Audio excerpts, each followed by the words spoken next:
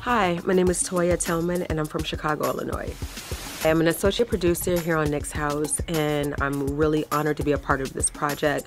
When uh, I first read the script, I was amazed at how funny it was, but also how positive it was, and that um, the children were also smart and, and just funny, and I just felt like this is something I want to be a part of. I have a seven year old daughter, and these days TV is so um, different for kids than it was when we were growing up. You know, um, now it's, it's so risque, even the children's program. So to be a part of a show that's smart, that's funny, and that's um, positive was uh, such a bonus for me, and that's why I'm really uh, honored to be a part of this project.